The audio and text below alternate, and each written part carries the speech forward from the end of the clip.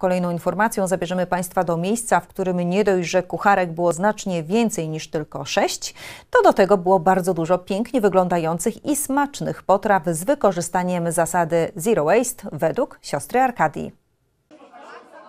Z niedowierzaniem można było patrzeć na tempo prac, jakie miały miejsce w niewielkiej stołówce Miejskiego Ośrodka Pomocy Społecznej w Bisztynku. Choć pierwotnie miało to być małe spotkanie edukacyjne dotyczące ponownego wykorzystania produktów w kuchni, by nie marnować żywności, to w konsekwencji temat okazał się bardzo chwytliwy, tym bardziej, że za jego promocją stanęła siostra Arkadia.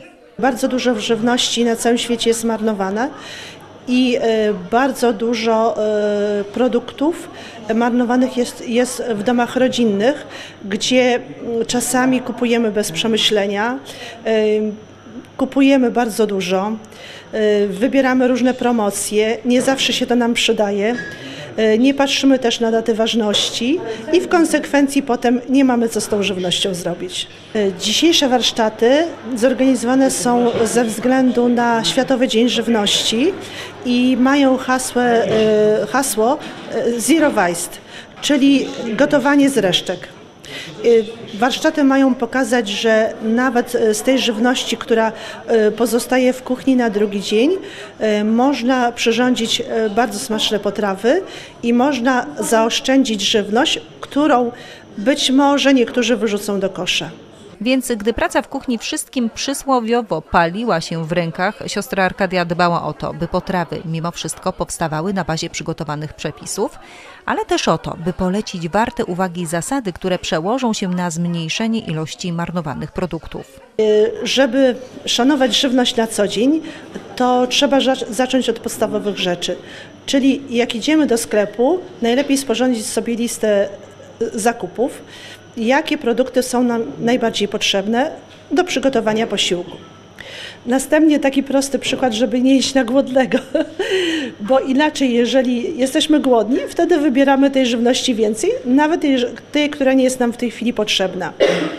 Patrzymy też na e, datę terminu przydatności żywności, dlatego że nie zawsze ta żywność, która ma dłuższy, dłuższy termin, jest lepsza.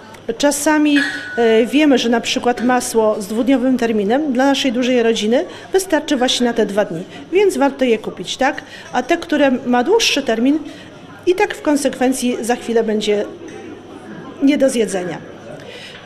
Może taki następny przykład to to, że w lodówce jak ustawiamy żywność, to e, produkty, które są z krótszym terminem stawiamy zawsze z przodu, te z dłuższym terminem z tyłu, tak? Dlatego, że wtedy bierzemy z lodówki to, co jest y, już y, jak gdyby na teraz do spożycia. I to właśnie te produkty pojawiły się w kuchni, by wspólnie przygotować zaplanowane przez szefową kuchni potrawy. Ugotowaliśmy dzisiaj y, zupę pomidorową z ciecierzycą. Następnie paprykę nadziwaną mięsem mielonym, zapiekankę makaronową, placuszki z płatków owsianych, z mąki z płatków owsianych i sałatkę z, z kurczaczkiem. Wszystko udało się stworzyć przy pomocy osób, które chciały bliżej poznać zasadę promowaną przez siostrę Arkadię i na co dzień współpracują z prowadzonym przez nią Domem Pomocy Społecznej w Bisztynku. Dlatego tak łatwo siostra panowała nad tym, co dzieje się w kuchni i cieszyła jednocześnie, że zasada Zero Waste przypadła do gustu uczestnikom. Nie mogło być inaczej, bowiem powstałe potrawy pobudziły wszystkie zmysły, a to najlepszy argument, że jak dobrze wyglądały, tak dobrze też smakowały. Więc zasada Zero Waste ma sens i czas skończyć z marnowaniem żywności.